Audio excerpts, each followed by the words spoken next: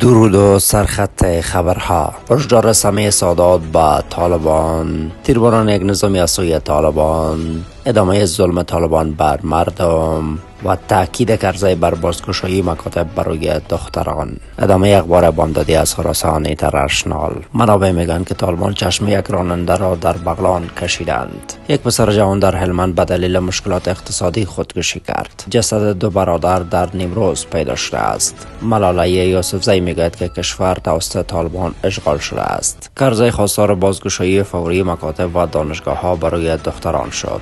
وزیر حکومت سابق پاکستان می‌گوید چی فایده از این استقلال طالبانی که زنان کشور زیر سلطه طالبان غلام شدند سمیع سادات می‌گوید که کشور خود را پس می‌گیریم و تروریست ها را با لگت بیرون می اندازیم منابع میگن که طالبان یک نظامی پیشین را در نورستان تیرباران کردند. بایدن می‌گوید که برقراری آتش بس در غزه هنوز امکان پذیر است. حماس پیشنهاد جدید آمریکا برای آتش بس در غزه را رد کرد. بلاروس یک سوم نیروهای مسلح خود را به مرز اوکراین فرستاد.